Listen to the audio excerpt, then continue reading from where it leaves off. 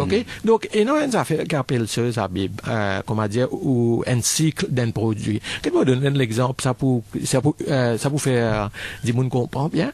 Vous connaissez longtemps, là, où tu peux une fourchette ou un, un, un couteau? C'est un non secret, là. Vous rappelez qu'il non secret, là, mais 30, 35 ans de Je cela. me rappelle. Sheffield.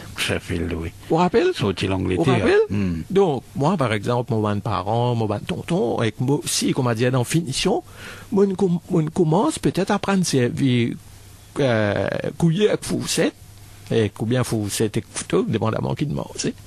C'est dans Sheffield, là, ou qui a, ou get ça, ou pose question, c'est pas des histoires. Après qu'il est arrivé, ça est devenu made in Japan. Tout à fait, c'est made in Japan. OK? Après qu'il est arrivé, ça est devenu made in Taiwan. Après, un certain temps, il est made in China. Là, les progressent made in China. China pendant un temps. Pendant un temps, parce qu'il nous paye des affaires et les belles poules. Donc, nous, dans le prévoir tout ça là. Oui, tout à fait. Prévoir que ça. Nous pensons, nous pas prévoir le contrôle des naissances. Si, ben, dis bon qui prend une décision pour que contrôle des naissances, pas faire ça. Mais Habib, ne t'y D'accord. ça aurait été le chaos. D'accord.